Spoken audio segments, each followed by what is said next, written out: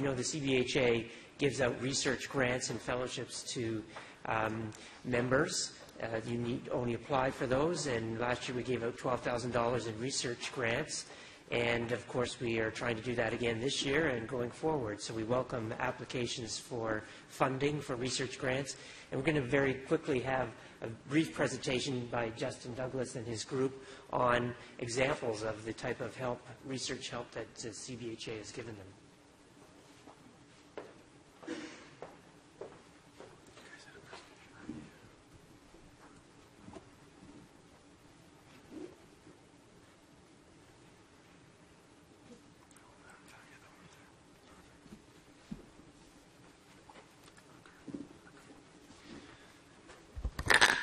So we just want to start by thanking um, specifically Joe Martin, uh, Mark Bonham, and, and, the late Chris Kobrak. Um, they really encouraged us uh, in our research and to take a risk in actually putting on an international conference here at the University of Toronto. So I'm just going to turn it over to my colleague, Kira Lussier, one of the organizers. Also, Breton Fosbrook is here as well as one of the organizers. Uh, and we're just going to briefly discuss how the CBHA helped us in our research endeavors. Thanks. We'll be brief because I'm sure you're all eager to get some coffee after a great morning of talks. Um, so the Corporation was a three-day conference that we hosted in May 2017 um, with Justin Breton, uh, myself, and Professor Michelle Murphy of the History Department. Um, and um, the goal of the conference, we featured speakers. there we go. Uh,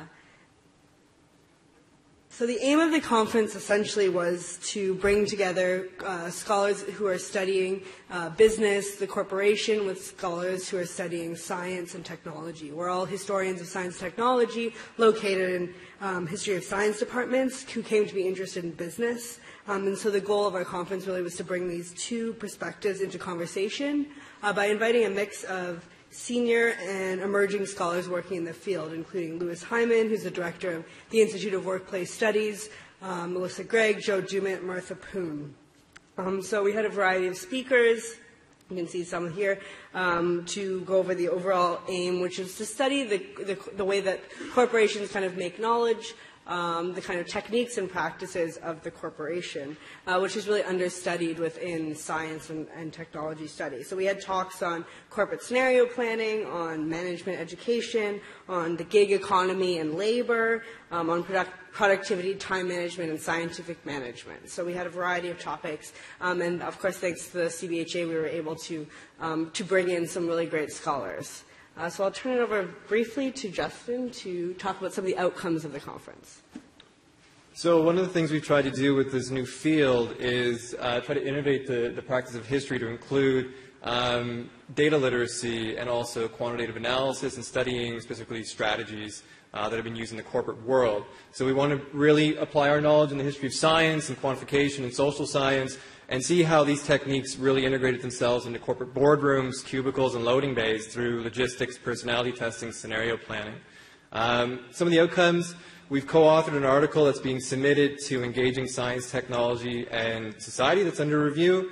We have interest from the Business History Conference for a Techniques of the Corporation workshop. Uh, we also headed Techniques of the Corporation panel at the American Anthropological Association, and there's significant interest in a 2018 Techniques of the Corporation conference. Some of the things that we want to talk to you today just briefly about is the outlook of this field in Canada. Um, so we are hoping that a field-defining publication that we've co-authored will draw interest, both from people in the business schools, but also the social sciences and humanities. Um, most of the presenters were Canadian. However, most of the business historians were American. Uh, the Canadians tended to come from fields such as geography, anthropology, and also some legal scholars.